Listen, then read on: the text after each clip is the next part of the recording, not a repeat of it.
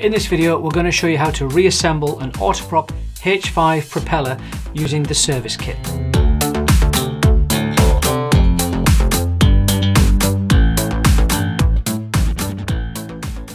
So by now you have the propeller in a thousand pieces. Um, everything's been nicely cleaned up and you're ready to reassemble the propeller. Uh, we're going to th go through just very quickly, step by step, um, how to rebuild the propeller. Now the first thing you need to do is to get the hub into some position that you can work on it securely. Um, what we tend to do is we wrap the hub with a bit of duct tape and then we hold it in a pipe bench and it allows us then to rotate all three faces, work on it, assemble the bearings and not to damage the hub. The next step is to fit the lip seal into the blade. Now the blade has a channel that it actually fits in. Um, and when you've taken the old one out with a pair of pliers, you can see that these are quite a fragile thing. So this step you should take some time and just get it right. Um, you can start it off by just gently pressing it in and it will start to take. And the idea is that um, you go around the lip seal and push it in, um, but you don't want it to crease um, because as you try and pull them out and put them back in with pair of pliers, you can tear these and these are quite expensive part. Um, what we do here is we take the lip seal and we push it on a, on, a, on a piece of bar like this and you just rock it backwards and forwards. Turn it a little bit, rock it backwards and forwards, turn it a little bit and rock it backwards and forwards. And one more, you can see that's just popped out there. And just in the space of a about 30 seconds to a minute or something, you should have these. It's a little bit popped out there. There you go. So once you've finished, you want to be checking that the lip seal sits in uh, this little track really, really smooth and it's got no uh, raised parts so that the seal has got a, a really good fit because this is going to have hydrostatic pressure on it um, and there is a small there will be a small air pocket inside um, but you want it to give it as, as much of a chance to have a good seal as possible. Next we take the um, the blade caps. Um, there's a little o-ring that's su supplied with it. See if you can see that on camera. So there's a little o-ring that came in the kit. Um, this just replaces the um, the one you took off on the cap. Um, it does tend to get a lot of hard wear, this one. Um, if you painted it, um, ablative paints tend to, to, to um, make the rubber hard and it just has a hard life. So it's an important part because we want this to have a good seal, again to keep the grease intact, keep the bearings uh, in grease and keep all that water out. So we have the blade caps, the o-ring seals on. Uh, the last set of o-rings to come are the uh, screws that retain on the blades just here and on the blade caps in the center there. They're a little M5 bolt and they come with a, a tiny tiny o-ring. Uh, sometimes um, in the packet they'll be they'll be already attached. Um, I have one here. Uh, it's just missing that one. Again, just to make sure that you have them all, just simply roll it over and get it to the bottom um, I like to grease my O-rings, the caps and these. Um, just helps it all when it nips it up, makes it just a really nice, nice good seal. The next part of the process is to start to put on the taper roller bearing. Um, and what we're going to do is take out the, um, the bottom part of the roller bearing. Um, this is the narrowest part of the, the, diameter. And these just sit inside the blades. You just gently push them. They're a nice gentle push fit. I'll just do another one. Now this is very important. The taper roller bearing um, obviously is tapered by its nature. If you can see that on camera. So you want the smallest diameter um, towards the blade, towards the boss, and the largest diameter towards the blade. So that when you put a nut on this side, um, it holds it all together. If you did it the other way around, uh, with a larger diameter um, on the bottom, the um, the bearing would not hold the blade and the, the blade just comes off. Now this is a very, if people do this themselves, this has happened time to time where they've not read the instructions and put them on backwards. Um, so it is a possible cause of failure. So please be very careful when you do this to put the taper roller bearing on correctly. Now the next part of the process is to get the propeller looking like a propeller again. So what we're going to do now is we're going to start attaching the blades to the hub.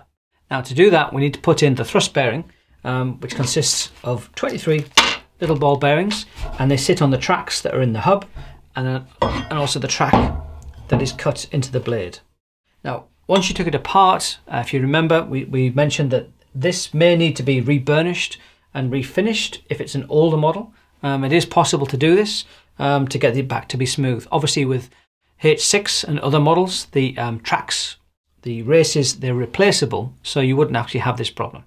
Um, but this one here, these are brand new blades going back on a hub, and this is a, um, a very clean hub, so there's not an issue there.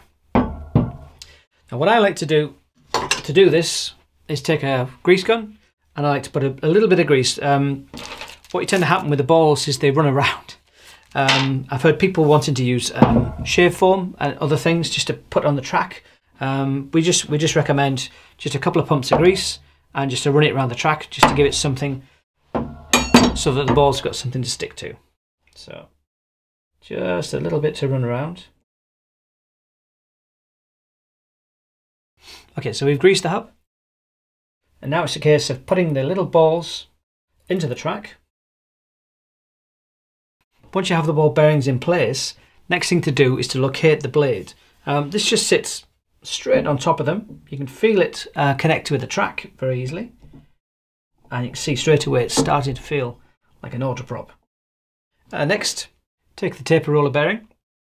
Largest diameter, so the, the taper narrows as it gets towards the hub. That just slides over the top. And once you've done that, there's the nut, the, the, uh, the blade nut that sits on it, goes on next. Now this one again, the flat of the blade nut uh, sits towards the top of the bearing. Um, before you do that, you need to apply uh, Loctite to the threads, uh, quite liberally, but not too much. Uh, you don't want the Loctite to dribble into the, uh, the roller bearing and cause any problems there. Okay, so we just put our Loctite onto the threads. The nut is a right hand thread, just sits on and hand tightens. Once you have the blade set um, with the nut in place, the next thing to do is to tighten the nut down. Now the, the Bruntons make a, a, special tool to do this, a little nut spanner with two spikes on. Uh, they just locate very nicely into the, uh, the grooves on the, uh, the nut. And I just use a, a, bicycle torque wrench set to about 14 newton meters. And you just tighten away until you get um, uh, the torque wrench to, to click into place. Okay, so that one's set now to 14 newton meters. Um, it is a bit of an iterative process. You want the blades to fall under their own weight. So they shouldn't, they should, as you tip them on this side, they should just gently fall down under their own weight. That's the, that's the, the, the, the guide that you need to do. This one seems pretty good. The final piece in the puzzle to keep the blade in position is to fit the tab screw. Now this is a custom bolt that's manufactured by Bruntons and it's designed to hold this nut and stop it from unwinding. Now the way it works is that this is a right hand thread and this one is a left hand thread. So the two marry together and then once you've got them over one of the four tab, one of the four gaps on the nut there that we used to locate the spanner, you're going to bend one of the fronds really, really securely into the nut there. Now this will then stop the nut from uh, unwinding and it'll keep the whole mechanism together.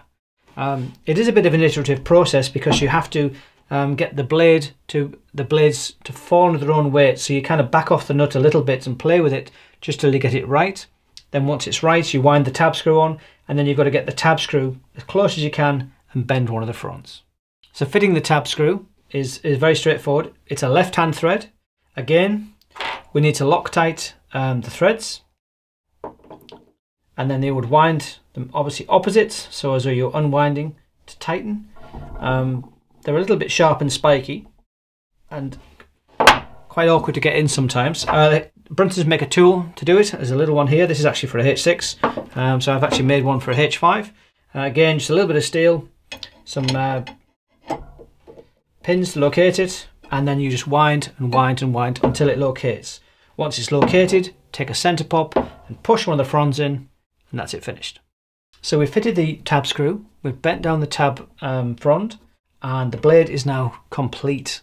Um, it's all locked in place.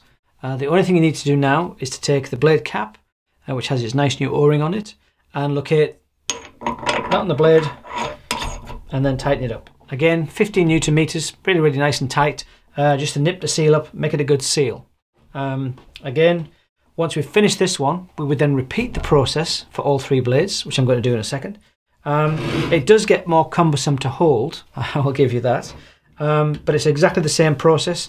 Uh, grabbing it in the pipe vise, look at the bearings, build it all up, and then check again that the blade falls nicely under its own weight. It's not too stiff and it's not too flexible. So again, it's about 15 newton meters is normally the, the, the mark that we use. Um, and then once you've done that, um, we're going to be then greasing it and showing you how to uh, to finish everything off.